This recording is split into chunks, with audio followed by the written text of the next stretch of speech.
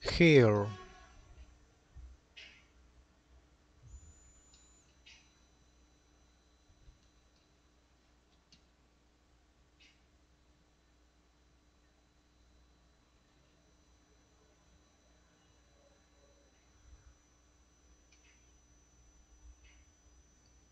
The last digit is zero, therefore eliminate.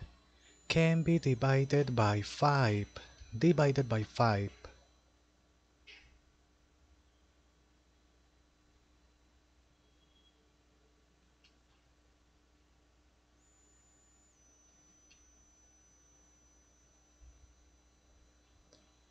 Okay,